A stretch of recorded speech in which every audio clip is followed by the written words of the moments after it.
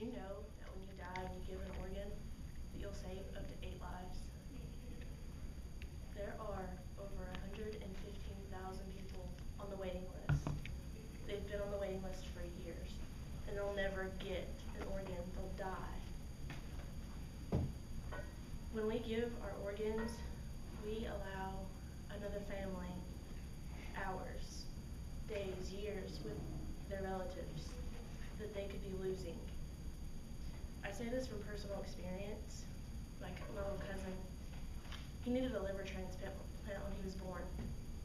He was going to be put on the waiting list.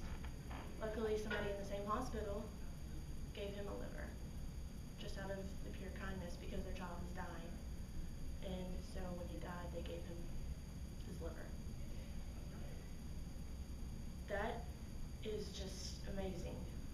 The pros of giving your uh, your organs to someone, you allow um, the other person's family and whatnot to to live and be happy together.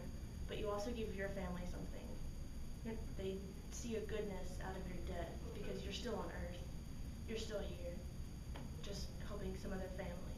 And that's what most people, like myself, my mom was totally against becoming an organ donor because she saw that as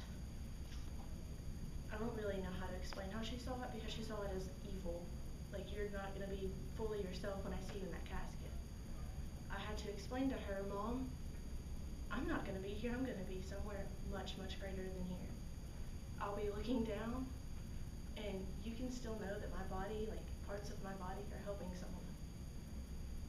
And she has changed her views on everything, and she allowed me at the age of 16 to become an organ donor, which in Tennessee you have to be 18, but they sign the papers allowing me to become an organ donor. That also crosses with blood donations. I give blood every, I think it's three months. A pint of blood can save up to three lives. So far, I've saved nine. And that too has a personal experience behind it with my aunt. She used 12 pints of blood in the two years prior to her death. And I'm so grateful that I got those extra two years. And the person that donated is still living, of course, because you can do that while you're still living because blood is renewable.